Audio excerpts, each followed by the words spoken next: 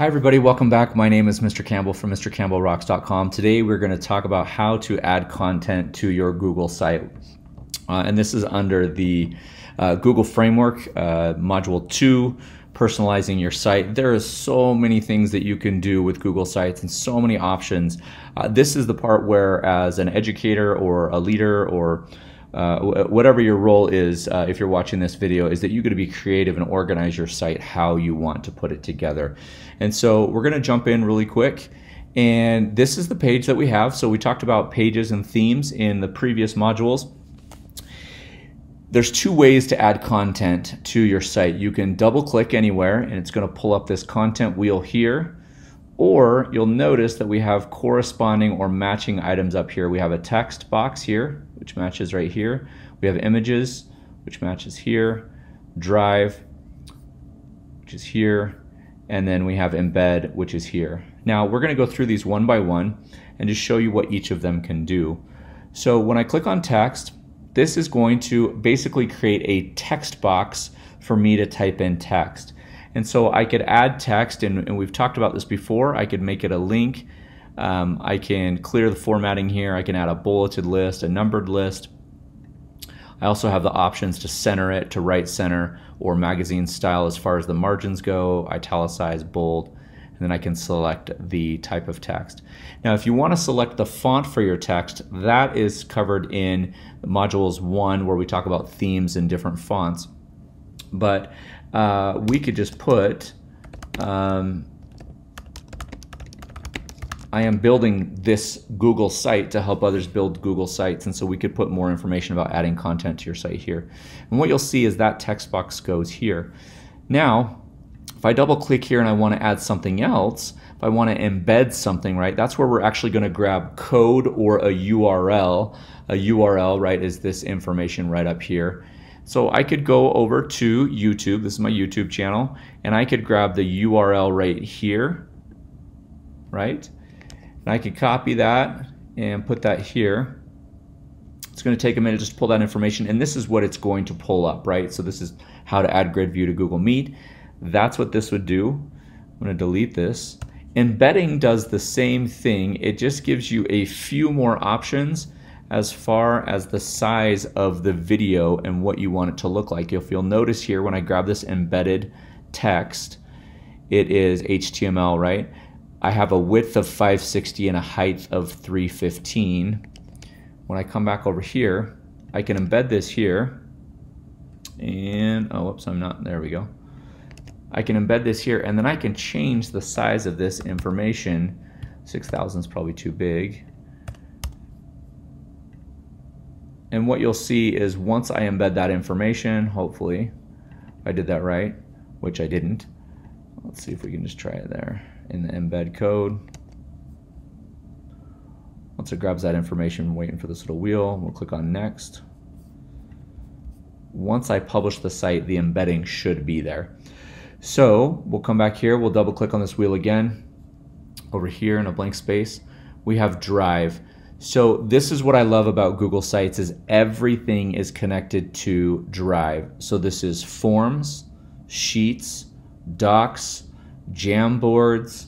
Um, uh, let's see what else. Doc sheets, um, slides.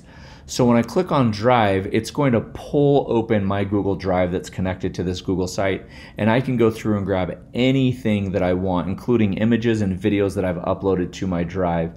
And so you have access to all of your files stored in Google Drive, which is amazing. Um, I think a lot of you that are watching right now are starting to think some of the possibilities that you can do, that you can add. So what we would do is we would just grab a uh, file from here, this is a concert that we did a couple years ago at the school that we did some HD and we also filmed it. So this is me walking around with a GoPro. Um, I could grab this and then insert that file right into my site here. You can see there. Okay. So again, if I want to get rid of this, I just hit the trash can. So we'll do that. Um, so the last option here is I want to upload something from my computer. Uh, so this will basically pull your desktop, your downloads, your iCloud or your Drive or whatever you have that you're working with. It'll pull files from your computer and you can upload those as well. Those could be PDFs, those could be docs, those could be Word documents, uh, Excel documents, pretty much any file, uh, JPEGs, images, um, stuff like that. So that is the double click method and all of these here would give you the same options when you clicked on them.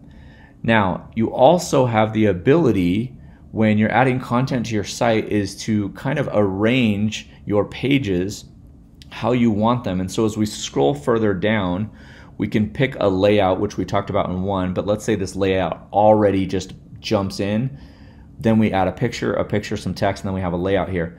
But if we scroll below the layouts, we have a lot more options as far as what our site is going to look like. We can add collapsible text. So if I add text here, this would be text underneath, and we could have like a drop down menu.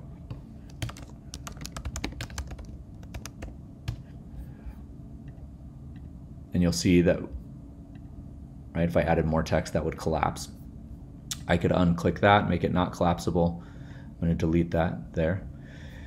I can add a table of contents if I am putting things in a magazine form or a book form, right? When I add the table of contents, I can add all the headings right here. You'll see that that just jumped up right there. So I'm gonna delete these as we go. And so I don't have a lot of more work. We can do an image carousel. So we could add images here if this was a classroom site and you were had permission to share pictures of your kids or rotate through projects. This would be an amazing place to have uh, a slideshow of all your students' projects constantly going all year long, uh, basically like an archived art show for the parents to come and look at this. That you cannot do in Google Classroom. That's some of the benefits that you have for Google Sites. Next, you can click on a button. This button could be a link, it could be a code, it could take them to the Google Classroom site. So if I added this button here, we could just put Google Classroom, right, or Mr. Campbell's Google Classroom, and then we would copy and paste the link of our Google Classroom right in here so parents can just jump straight from the Google site over to Google Classroom or students could do the same thing.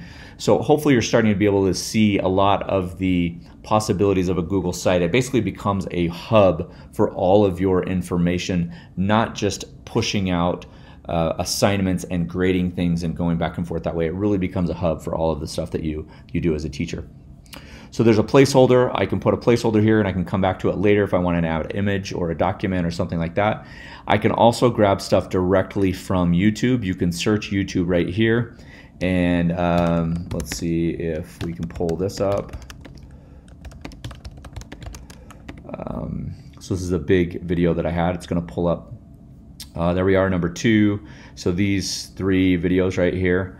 Um, this is by Eric, right? Uh, it's fantastic uh, tutorial love his stuff. So um, you can grab videos straight from there, and then I select that, and then it plugs that video right in there. And what you'll notice when I embed this is I have the option to drag and move things around so that I can get them to the size that I want.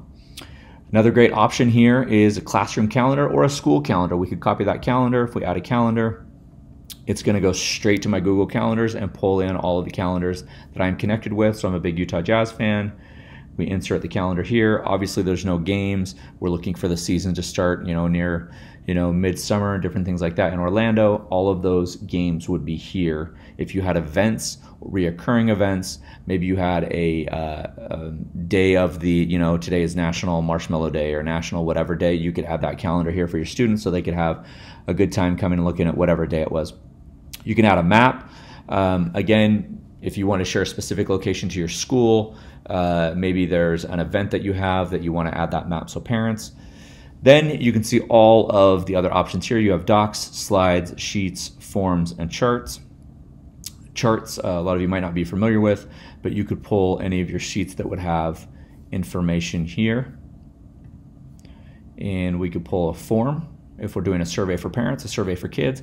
You can also add a form, right, in Google Classroom. I'm thinking more of a way to communicate with parents uh, that you could send this out for your individual classroom. So each one of these can be placed anywhere in your Google site as you personalize those items. right? So what we're going to do in the next video is we are actually going to go back and edit text. So this has just been a quick and maybe not so quick because there's a lot of information in this one is how to add content to your site. The next video will be editing your text. Again, thank you for being here. I love you. I appreciate you and I'm glad that you're here.